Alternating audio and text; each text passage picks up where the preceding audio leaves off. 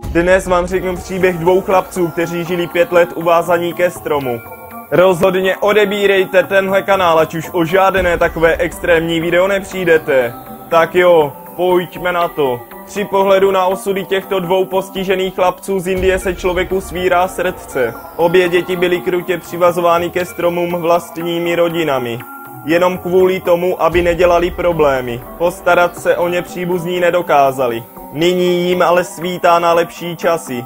Naštěstí se oba indické chlapce podařilo zachránit před jejich krutým osudem, který nebyl ničím jiným než nepřetržitým utrpením. Osmiletý Ameš z vesnice Koliar je mentálně postižený a navíc má vážné problémy se zrakem. Jeho rodiče zemřeli před pěti lety na HIV.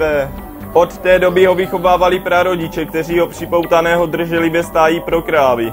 Přivázán byl za nohu ke stromu. Na sobě měl tričko a ležel na špinavé zemi.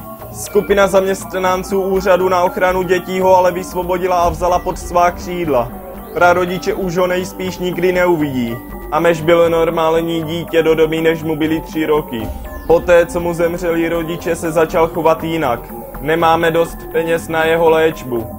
Je násilený a občas odchází z domu bez dovolení. Jsme staří a nemůžeme se o něj starat, proto jsme ho připoutali. Řekla babička P.P. Baj, která měla v tu dobu 75 let. Zachránit se podařilo i 11-letého chlapce jménem Jiva Ram z vesnice Bejdy. Ten trpí dětskou obrnou, má deformovanou nohu a suží ho psychické příhody.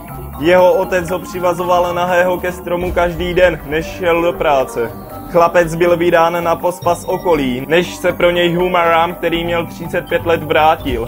V minulosti si již ublížil, abych se vyhnul problémům, přivazoval jsem ho. Přiznal se otec. Kvůli deformované noze se chlapec nedokáže postavit, takže ho do bezpečí museli pracovníci úřadu na ochranu dětí donést v náručí. Snad budou mít nyní chlapci lepší život.